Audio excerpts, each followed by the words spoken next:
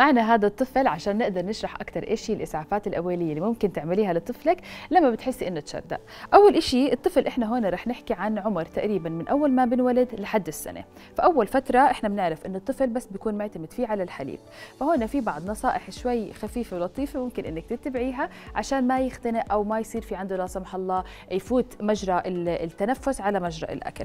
أول شيء بدنا ننتبه بطريقة إنه لما بدنا نيجي نرضع البيبي إنه يكون قاعد إنه نكون ساندين رقبته وراسه مزبوط وبنفس الوقت يكون الرأس أعلى من مستوى الجسم يعني مش مميل كثير بهذه بهاي الدرجة. هلأ في نقطة ثانية أحيانا ممكن تكون كمية الحليب اللي عم بتفوت على البيبي أكثر مما هو ممكن إنه يستوعب وهون رح يبلش إنه يا إما بينتقه يا إما إنه رح يتشردق فيه.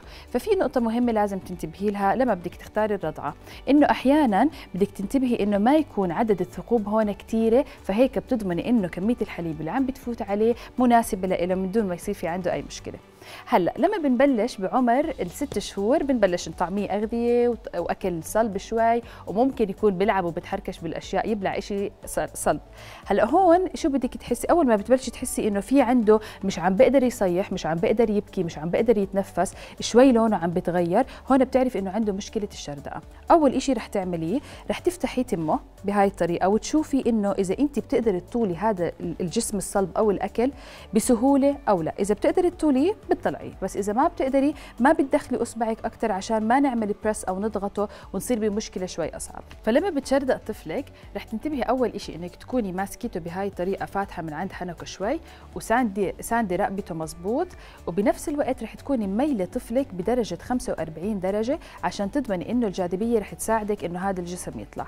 بكف إيدك من هون لأنه هاي رح تعطيني قوة أكثر رح أبلش إني أضغط بهاي الطريقة عند منطقة الظهر عند نص الكتاف بنص الظهر. ورح أمشي بهاي الطريقة شوي عشان أقدر إني أساعد هذا الجسم إنه يطلع أو إني أقدمه لقدام. إذا برضه حسيتي لهلأ إنه ما طلع عندك هذا الجسم الغريب رح أقلب البيبي. وهون لازم تكوني عارفة تماما إنه أنت بتقدري تعملي هاي الحركة حتى ما تأذي طفلك. بأصابع الإيدين رح نبلش نضغط عند نص منطقة الصدر. بين اللي هي منطقة اللي بتربط بين الصدر والمعدة عشان أقدر إني أضغط هذا الجسم وأطلعه لفوق بهاي الطريقة. وهنا انتبهي شوي إنك ما تأذي طفلك إذا ما كنت بتقدري تعملي هاي الحركة تجنبيها وما تعمليها. إذا حسيتي إنه طفلك ضل عنده هاي المشكلة وما قدر إنه يتعالج منها بسرعة بتاخذيه على الطوارئ حتى يقدروا يعملوا له الإجراءات الإسعافية الأولية.